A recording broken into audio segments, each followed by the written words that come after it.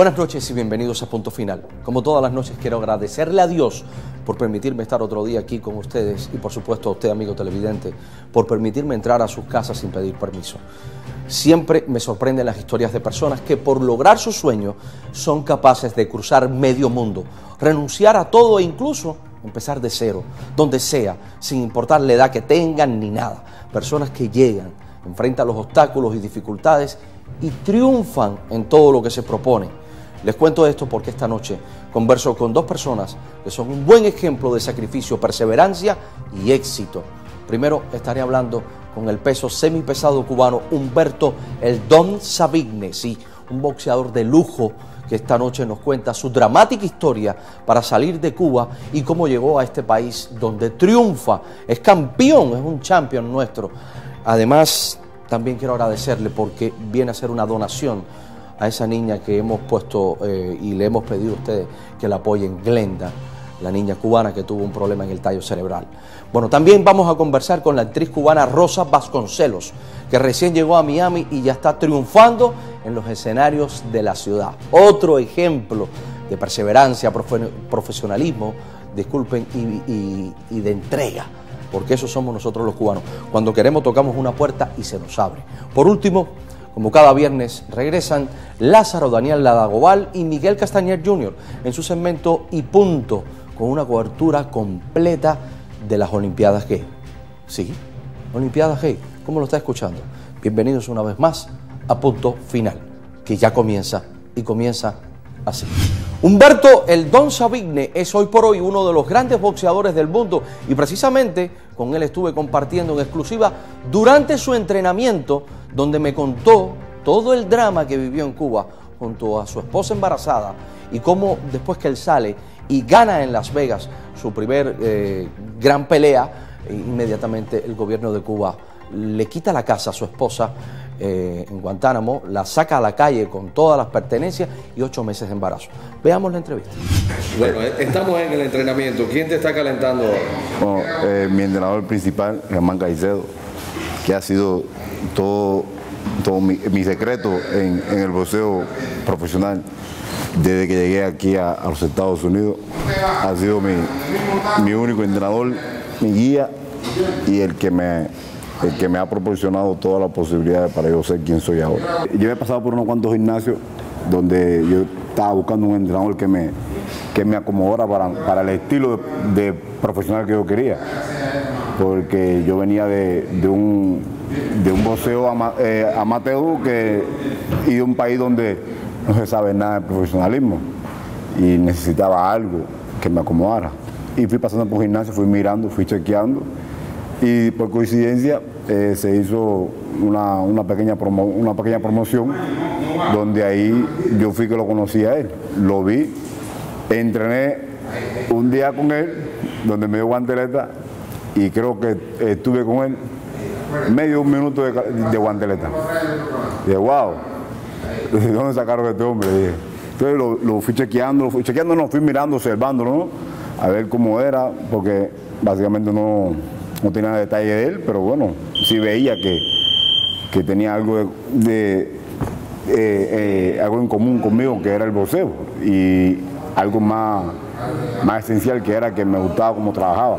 Y así fue que fuimos eh, al, punto de llegar a trabajar con el promotor mío, le dije, yo quiero entrenar con ese entrenador. Él se encontraba, creo que por Los Ángeles, y lo llamó y le explicó que queríamos entrenar. Nos encontramos y bueno, hasta ahora hemos estado ahí y hasta ahora todo nos ha ido intachable. De día normal entrenamiento yo lo, lo que hago es, vengo al gimnasio, hablo con mi entrenador, me hago los, estiramientos para entrar, eh, para poner el músculo en función de trabajo y así eh, evitar lesiones primarias para poder tener un buen resultado de una buena entrada de entrenamiento. El boxeador que más me gusta a mí eh, es Humberto Sabine. Soy yo, porque soy testigo de lo que yo hago. Ahora, el boxeador que más sigo cubano, lo sigo a todos. Tony, yo no callo, ¿verdad? Yo no callo.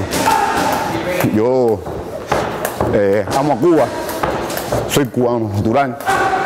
Eh, pero yo no caigo verdad, yo salí de mi Cuba porque eh, la libre expresión, ya que la tengo, no me voy a callar, no me voy a callar.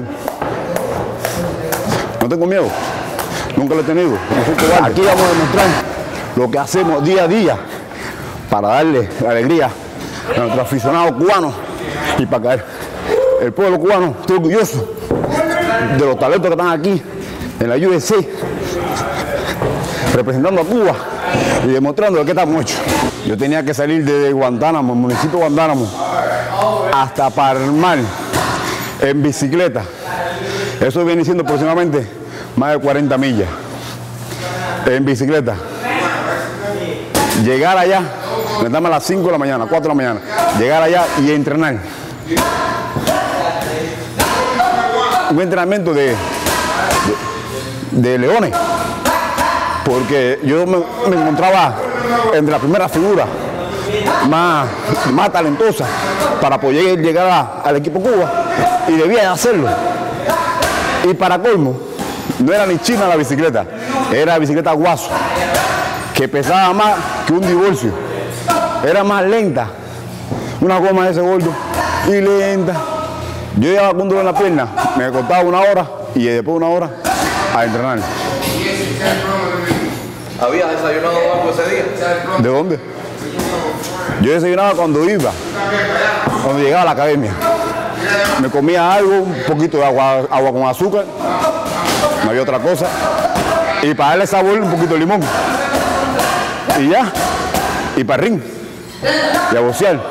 Y después cuando salía, me comía un mango, porque la academia de boxeo siempre estuvieron apartada. Me comía un mango, o me comía eh, una guayaba, lo que apareciera, cualquier fruta. Salí con Cuba con 5 dólares y dije, hasta que no llegue a Estados Unidos, no gasto estos 5 dólares. Crucé la frontera y a la misma frontera me tomé una Coca-Cola de medio litro sin parar. Fue la primera vez que oí la palabra oh, en inglés. Tú me haces, mira, plo, plo. Y todo el mundo, oh my God, you crazy, man. You crazy. Medio litro sin parar. Llevaba más de 20 años sin tomarme una Coca-Cola. Más de 20 años sin tomarme una Coca-Cola. Increíble. Yo salí de Cuba y cuando llegué aquí a Estados Unidos, a la frontera, me fui para Las Vegas. Salí de la frontera para Las Vegas. Allí me uní con mi, con mi amigo, mi amigo y mi hermano, donde iba a discutir el título mundial, el primer título mundial. Eh, a los tres días, a la semana de estar allí en Las Vegas, me llaman por la mañana. Oye, llama a tu esposa, campeón, que, que le van a quitar la casa. ¿Cómo que le van a quitar la casa? Esa casa es mía. Esa casa fui yo que me la gané con mi esfuerzo. Esa casa es mía. Esa casa ellos, me- ellos no me la dieron. Yo fui que me la gané. ¿Cómo se la van a quitar? Además, mi mujer tiene ocho meses y medio de embarazo. Yo no puedo sacarla de ahí. Yo estoy casado, papeles con ella y todo. Yo la dejé con todo. Pero mi mujer no es de Guantánamo. Mi mujer es de Santiago. No tiene nadie en, en Guantánamo. ¿Se imagina lo que hicieron? Mi mujer le pidió un transporte para poder sacar las cosas. Porque yo le dije, bueno, dale la casa. No te preocupes por eso. Dale la casa, no dejen para nada. Dásela como mismo te la dieron. Como mismo ellos me la dieron. Dásela así mismo. ¿Qué casa? Aquí en este país lo que sobra. Con eso le dije que, venía, pero ya no lo supo. Fue a el gobierno para que le pusieran un carro de Guantánamo a Santiago para poder sacar las cosas porque no tenía cómo llevarla para. Dijeron que no, que era por sus medios. ¿Cómo que por sus medios? Increíble, por sus medios se la llevó. Mi mujer embarazada, sola. se le llevó todo para Santiago de Cuba en un camión. Ella encaramada arriba de todo lo que ella tenía dentro de la casa. Y, y bueno, eso es lo que yo he dejado también. Obvio.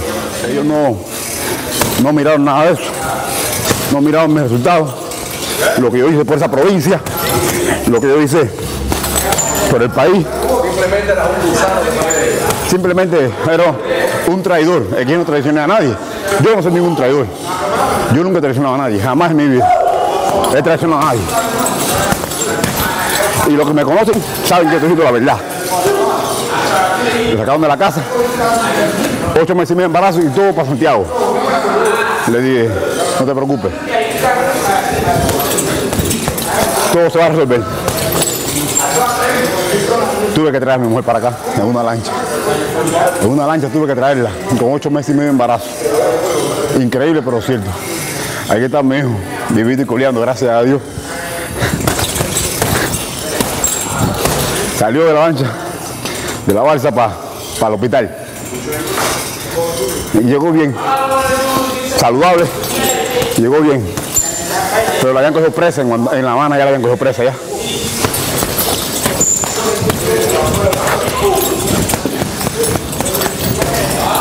Hablo eso y creo que lo tengo aquí, por eso soy tan duro.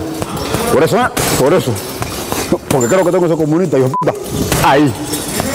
Ahí. No se muevan, que al regreso tengo de visita en el mismo estudio al Don. Humberto Sabine en persona, quien esta noche nos trae una sorpresa muy agradable y muy humana. Viene con un encargo muy especial, por supuesto, a Gleta. Más adelante también de visita en el estudio la actriz cubana Rosa Vasconcelos, quien acaba de llegar a Miami y ya anda triunfando en los escenarios de esta ciudad con una obra que se llama El último fuete.